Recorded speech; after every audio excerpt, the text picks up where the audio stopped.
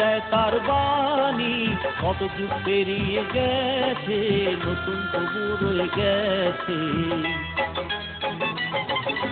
পরিদের ধরে এনেছে দিনকেও বেঁধে রেখেছে।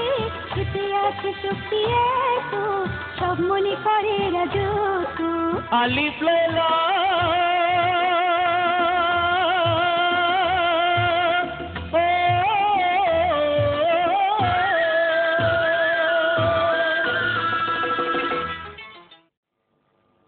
সৎ বন্ধুত্ব ও সাহচর্যে এক বিদ্রোহী আর বদমাস চিহ্ন ভালো হয়ে কত বদলে গেল? ঠিকই বলেছে তুমি মালিকের শাহজাদা। ঠিকই বলেছ। আর আমার জিনের এ কথাও পছন্দ হয়েছে যে ও জেলেকে ওর ভুল উসুলের কথাটা বুঝিয়ে দিয়ে আর ওকে আশরফি দান করে বিরাট ধনী করে দিল। জিনের এই দান তো কিছুই না, জাহাপানা। এই জগতে এরকম এক তাকতওয়ালা, আরও শক্তিশালী, মস্ত বড় অদ্ভুত জিন আছে, যাকে কয়ামত জিন বলা হয়। আমার জিন? এই নাম তো আমি ছেলেবেলায় দাদি জানের মুখে শুনেছিলাম। ব্যাস, এইটুকু মনে আছে। যে এই কায়ামত চেন এক প্রদীপকে ঘষলেই হাজির হতো। ব্যাস। এছাড়া আমার আর কিছুই মনে নেই। ঠিক বলেছেন হুজুর অপ্রতিম বুদ্ধি শাহ। ওই প্রদীপ আলাদিন নামে এক জোয়ান ছেলের কাছে ছিল। আলাদিন? কিন্তু আলাদিন নামে যুবকের কাছে এ প্রদীপ এলো কি করে? হুজুর এই তো দুনিয়ার সব থেকে মন মাতানো আশ্চর্য ধরনের অবাক করা এক অবিস্মরণীয়, অপূর্ব কাহিনী, যা খুবই শোভনীয়, সুন্দর, মন ভোলানো আর খুব বিপজ্জনক, ভয়ানক কাহিনী। আমি আলাদিন আর, আশ্চর্য প্রদীপের কাহিনী শোনার জন্য মহা উৎসুক, অধৈর্য আর ইচ্ছুক শীঘ্র বলে দাও, মালিকায় শীঘ্র বলো। শেষ দাদা শীঘ্র বলে দাও। হুজুর কাদেরদান বাদশাহ জাহা। এই কাহিনী সেই সুদূর আফ্রিকা থেকে শুরু হয়। আফ্রিকার ওই ভূভাগ যেখানে আজ তুফানি সমুদ্র নিজের ভয়াবহ ঢেউয়ের দ্বারা জমির ওপর রাজত্ব করে চলেছে, সেখানে কোনো এক সময় ভূমিকম্প আসার আগে রামপাট্টাহরা নামে এক খুবই ঘন, বিপজ্জনক আর ভয়ঙ্কর জঙ্গল ছিল। কিন্তু ওই জঙ্গলের থেকেও অনেক বেশি বিপজ্জনক আর ভয়ঙ্কর ছিল ওখানকার জাদুঘর চিঙ্গালু জংলা।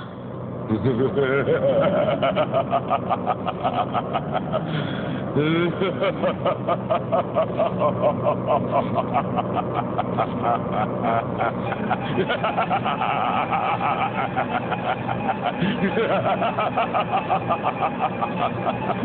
জিঙ্গালু জংলাকে শুধু মানুষ নয়, ওই জঙ্গলে বড় বড় ভয়াবহ জানোয়ার রক্তখেকো জন্তুরা আর বিষাক্ত সাপেরাও ভয় পেয়ে পালিয়ে যেত।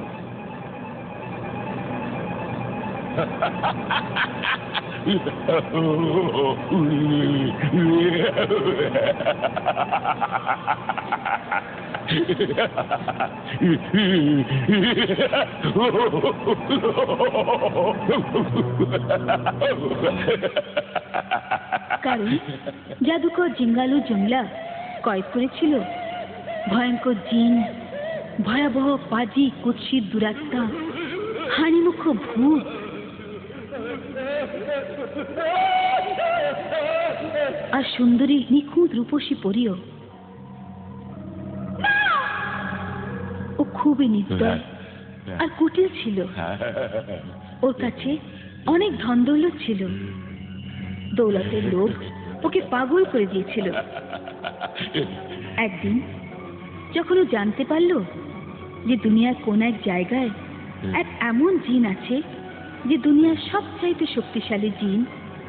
আর ওই জিন এক আশ্চর্য প্রদীপ ঘষার পর গুলামের রূপে সামনে হাজির হয়। তখন আফ্রিকার জাদুকর জিঙ্গালু জংলা ওই আশ্চর্য প্রদীপ পাওয়ার জন্যে বড়ই অধৈর্য হয়ে গেল। আর ও নিজের গুহার মধ্যে জাদুই মহলে যে ভয়াবহ আর ভয়ঙ্কর জিনদের কয়েদ করে রেখেছিল ওদের বারবার জিজ্ঞেস করল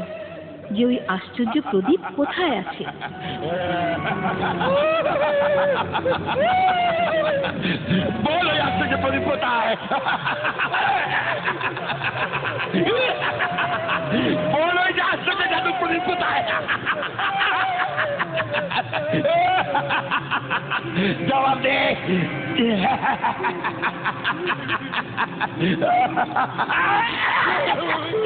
বল কোথায় আছে এই আশ্চর্য প্রদীপ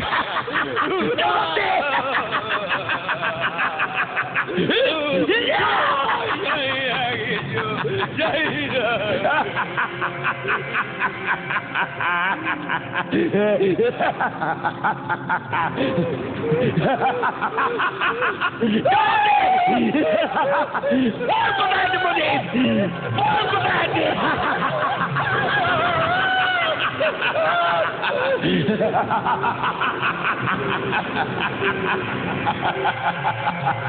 তুই বল সেই আশ্চর্য প্রদীপ কোথায় বল জানি না আমি কিচ্ছু জানি না জানি না।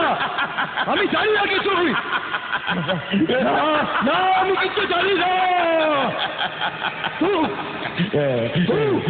বল বেটাল সেই আশ্চর্য প্রদীপ কোথায় আছে? আমায় জবাব দে। কোথায় আছে? কোথায়? কোথায়? আমি জানি না? জানি না। কোথায় আছে? বল সেই আশ্চর্য প্রদীপের দিনকে কোথায় পাওয়া যাবে? বল বল।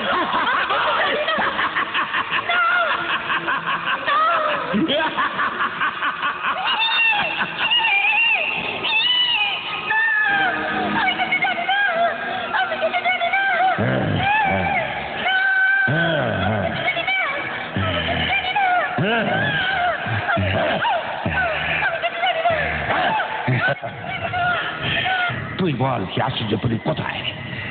সে আশ্চর্য প্রদীপের জিন কোথায়?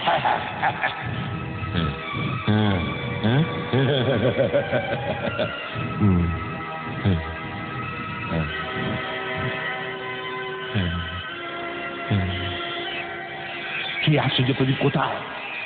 বল সেই আশ্চর্য প্রদীপ কোথায়? সেই অপূর্ব আশ্চর্য প্রদীপ কোথায়?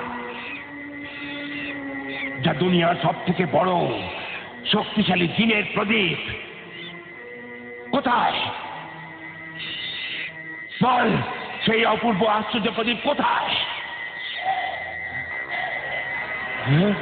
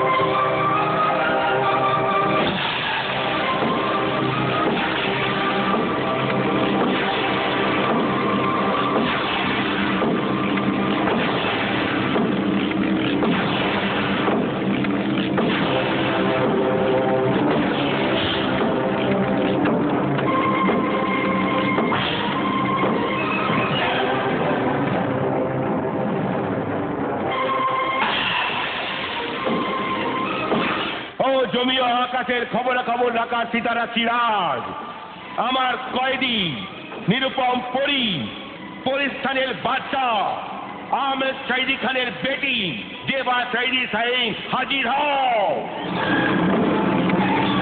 দুনিয়া দেখার আয়নাতে দেখা দাও জেবা সাইন পড়ি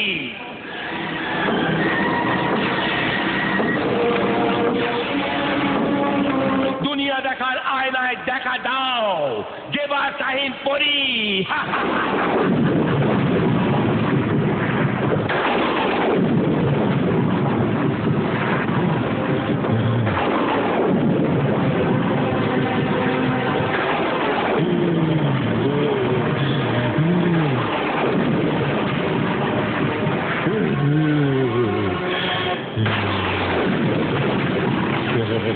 Yeah.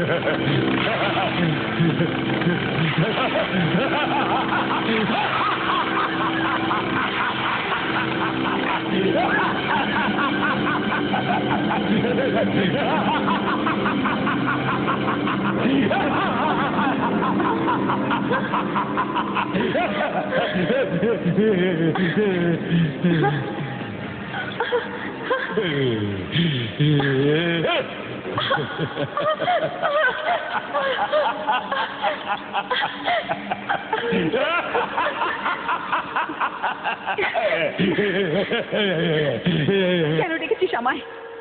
ওই শাহী আফ্রিকি জিঙ্গালুর জঙ্গলা? তারা শনাক্তকারী পরি। এ তো বল সেই অপূর্ব আশ্চর্য প্রদীপ কোথায় আছে? যা দুনিয়ার সব থেকে বড় আর শক্তিশালী, সেই দিনের প্রদীপ। বল কোথায় সেই জায়গা? বল কোথায় সেই জায়গা? কোথায়?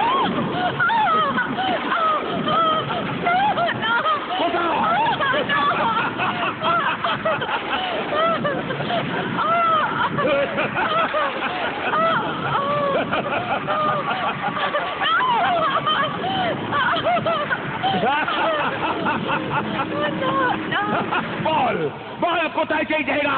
কোথায়? বলছি। ওই জায়গা ওই জায়গা হচ্ছে বারে আজম। আফ্রিকা পাহাড়ে আরব যাওয়ার পথে মুলকিস্তান ভিতর দিয়ে সাহারা মরুভূমি দিয়ে তাই পাই পার হয়ে সুমালি লং কারণ থেকে দুশো যোজন আগে খুনি জঙ্গলের পাশে। ওই ঘাট দিয়ে চলার পরে দুটো পাহাড় আসবে যাদের নাম হচ্ছে চামে নেকবাক্ত আর চামে বদবাক্ত ওই দুই পাহাড়ের মধ্যে এক লুকোনো গভীর গুহা আছে যার নাম কারি মামাত। কারে মামাত? মানে মৃত্যুর গর্ত। হ্যাঁ মৃত্যুর গুহা।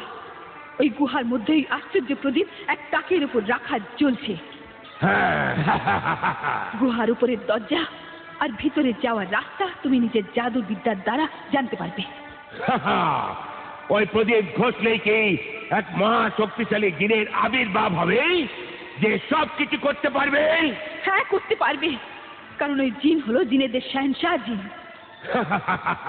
আর ওই জিনের হাতে মুঠোয় দুনিয়ার সব থেকে বড় শক্তি আর দুনিয়ার সব কিছু আছে সে কি এক মুহূর্তের মধ্যে উঁচু আলিশান মহল বানাতে পারবে? হ্যাঁ বানাতে পারে। সে কি ধ্বংস আর বিনাশ করতে পারবে? তার কাছে কি এত জবরদস্ত ভালো আর খারাপ শক্তি আছে যার দ্বারা যে কোনো ভালো কিংবা খুবই খারাপ ভয়ানক আগুন বা বারুদ দিয়ে ধ্বংস করার কাজ করানো যেতে পারে? হ্যাঁ তা করতে পারে। ওরে নিচ আর জালিম জাদুকর জিঙ্গালু জঙ্গলা। সে কি জমির বাইরে আর জমির ভেতরে লুকিয়ে রাখা সব গুপ্ত দলে একমাত্র মালিক? হ্যাঁ তার মালিকও। এছাড়াও ওর কাছে এত প্রচুর দৌলত আর সোনার উপর হিরে মুক্ত জড়ো আছে যা গুণেও শেষ করা যেতে পারে না। হ্যাঁ, এখন সেই সব ধনরত্ন আমার হবে। সেই সারা দৌলত আমার হয়ে যাবে। সেই আশ্চর্য প্রদীপের চায়নটা জিনো। তোর মতো আমার গোলাম হয়ে যাবে। ফের এই দুনিয়ায় আমার মতো বড় কোনো শক্তিশালী আর দৌলতওয়ালা কেউ থাকবে না। আমি ওই প্রদীপের দ্বারা দুনিয়ার সারা দৌলতের উপর কবজা করে নেব। নিজের শক্তি আর ব্যক্তিত্ব দেখাবার জন্যে মানুষকে অভুক্ত করে মারবো। রুটির এক এক টুকরোর জন্যে মানুষ আপোষে কুকুরের মতো লড়বে। নিষ্পাপ বাচ্চারা দুধের জন্য তর পাবে। মারা নিজেদের বাচ্চাকে মরণ মুখে ঠেলে দেবে। চারিদিকে হাহাকারের রব উঠবে। আর আমি আমি অট্ট হাসি হাসবো হ্যাঁ অট্ট হাসি কত সুন্দর মনোরম দৃশ্য হবে সে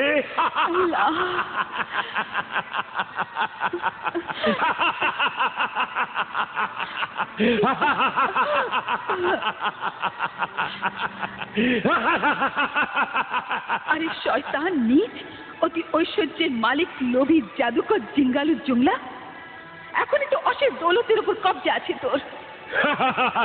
আবার অন্যের ভাগের দৌলতের উপর কেন কবজা করতে চাস তুই? এটুকু জানিস না যে দৌলতের লালসার কোনো সীমা নেই? আরে এ তো সেই কুয়া। যার মধ্যে যতই ভরো সে ততই খালি হতে থাকে। আর একদিন তুই তুই নিজের সেই কুয়ার মধ্যে পড়ে যাবি। আমি কখনো পড়ব না। আরে বুদ্ধিন পরি দেবা সাহেব আমি যখন চলি তখন আমার পায়ের আওয়াজে জমি ভয়ে কাঁপতে থাকে। মরার পরে যখন তুই খুদার আশ্রয় চাইতে চাইতে কবরে আশ্রয় যাবি তখন এই এই জমি তোর উপর গুনে গুনে প্রতিশোধ নেবে। তোর লাশকে আষ্টে পিষ্টে প্রহার করবে। মাটিতে মাটি হয়ে যাবি। তোর অহংকার শুধু গল্প হয়ে রয়ে যাবে। আমি তোকে সাবধান করে দিচ্ছি যে অন্তহীন দৌলত আর সীমাহীন শক্তির জন্য এই আশ্চর্য প্রদীপের আশা নিজের মন থেকে বার করে দে। কত জাদুকরের জীবনের প্রাণের আলো এই আশ্চর্য প্রদীপকে হাতে পাওয়ার চেষ্টায় নিভে গেছে। আর কেবল মৃত্যু ওদের ভাগ্যে জুটেছে। আমি মৃত্যুকে ভয় করি না। আরে ভেটু আরে বোকা পরি সাহিন আমি মৃত্যুকে জয় করে নিয়েছি। আমার অসীম শক্তি শিখরে পৌঁছে গেছে। মৃত্যু তো হাত জোর করে দাঁড়িয়ে আর জীবন তো পায়ের নিচে লুটোচ্ছে। ভাগ্য তোরই মতো অসহায়, আমার কবজায়। আর ফের ফের যখন সেই আশ্চর্য প্রদীপ আমার হাতে আসবে, তখন আমার শক্তি আরও কত লাখ গুণ বেশি হয়ে যাবে। দুনিয়া আমার মুঠোর মধ্যে হবে। আমার যখন ইচ্ছে হবে যে রাজ্যকে আমি চাইব সেই রাজ্যকে দুনিয়ার নকশা থেকে মুছে দেব। মুছে দেব। মুছে দেব। ঝড় হয়ে প্রদীপকে নিভিয়ে দেওয়ার যে লোক তুমি কোথায় যাবে? দুনিয়াকে অন্ধকার করে? হ্যাঁ? যেমন ইচ্ছা তেমনি আত্মা। যেমন আত্মা তেমনি চিন্তা। যেমন চিন্তা তেমনি শয়তানি কুৎসিত স্বপ্নবিলাসী কুটিল স্বভাব তোর। এই হওয়া উচিত ছিল যে তুই অসীম শক্তিশালী প্রদীপ হাসিল করে দুনিয়ার উপকার করতিস দুঃখীকে হাসাতিস অবক্তকে খাওয়াতিস বরবাদের ঘর বসাতিস খুব সুন্দর দুনিয়াকে আরও সুন্দর করতিস। এই সব কিছু এই প্রদীপের দৌলতে কোনো ভালো মানবতা সেবার কাজে উন্নতির কাজে লাগানো যেত। কিন্তু তুই তুই তো দুনিয়াকে কবস্থান কবস্থান বানাতে চাইছিস। কিন্তু তারপর এই উজার অন্ধকার দুনিয়ায় তুই কোথায় থাকবি বল? ওরে অবাধ্য কয়েদি পরি তুই নিজের অবস্থাটা ভাব। তোর প্রাণ আমার কবজায় আছে। সব মনে করে রাজত্ব আলিফ লাইলা।